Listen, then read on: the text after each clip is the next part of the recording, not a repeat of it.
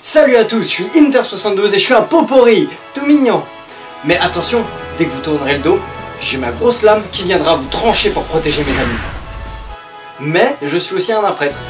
Et en tant que tel, je suis altruiste et je n'hésiterai pas à utiliser mes soins pour penser vos plaies. À côté de ça, je suis oracle et je saurai délivrer chacun de mes amis du joug de ces ignobles créatures grâce à ma faux. Attendez, j'ai aussi été un agent infiltré et je n'hésitais pas à tirer sur la concurrence pour faire bénéficier moi et mes amis davantage. Les jeux vidéo en ligne rendent associables les gens Non, je crois pas moi. Oh, un instant. Ouais C'est que d'aller boire un café? Non, va te faire foutre, j'ai raid dans 5 minutes avec ma guilde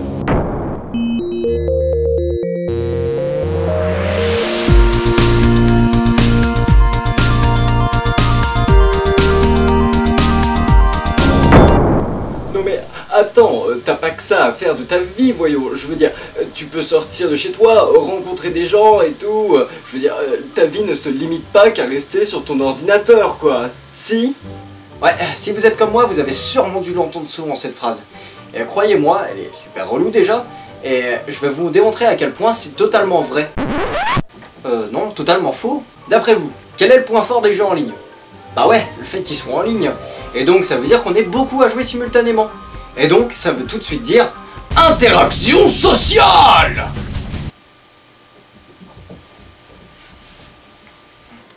Bah ouais, on va prendre l'exemple des MMORPG. Là on peut jouer seul et s'amuser, mais on peut aussi jouer avec ses amis ou des inconnus et partager de bons moments. Détruire des boss, prendre des forteresses ou je ne sais quoi d'autre. On y apprend facilement la solidarité, la diplomatie et le respect des autres. Les basiques d'une vie sociale saine quoi. On va la voir, on va la voir.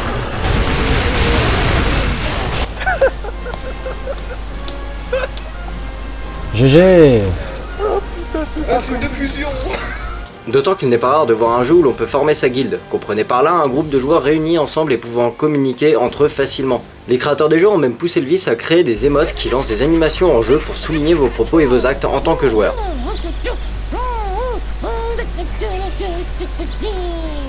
Attendez un instant, le fait de parler à des gens, de faire des activités avec eux, c'est pas se sociabiliser ça? Attends, non mais ce que tu me dis là, là, ça reste quand même de l'écrit, du virtuel, ils sont pas vrais quoi tes gens. Ah ta gueule alors oui, en effet, ça reste que de l'écriture, et l'écriture ça apporte plein de soucis, tels l'orthographe, le vocabulaire, la ponctuation. On peut jamais vraiment savoir le ton qu'utilise une personne avec de l'écriture. Mais pour pallier à ce genre de soucis, il y a des logiciels, tels Mumble, TeamSpeak ou voire pourquoi pas Skype. Et après, de toute façon, pour ce qui est du visuel, il existe les LAN parties. Mon dieu, les LAN parties, mais quel est ce mot barbare? Il s'agit tout simplement d'un regroupement de joueurs qui se réunissent tous ensemble pour jouer ensemble, en général dans des cybercafés, dans des caves, dans des garages.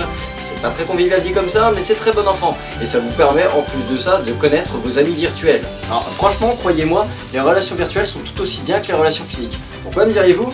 Eh bien, tout simplement pour ces quelques raisons. Vous vous prenez pas la tête avec les tracas de la vie quotidienne, le seul truc où vous pouvez encore vous embrouiller avec vos potes, c'est de voler les objets des autres.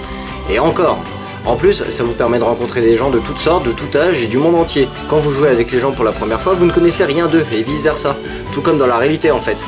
De toute façon, plus le temps passe et plus vous ferez connaissance avec ces personnes et tisserez des liens sociaux. Vie sociale est égale challenge complete. Donc non, les jeux vidéo ne rendent pas associables.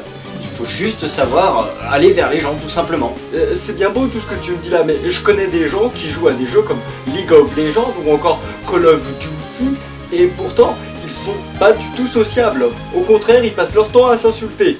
Oui bon alors ces jeux là c'est normal, c'est des jeux compétitifs. Mais ça j'en parlerai sûrement dans une autre vidéo. D'ici là, restez connectés et n'ayez pas de préjugés. Allez, ciao les gens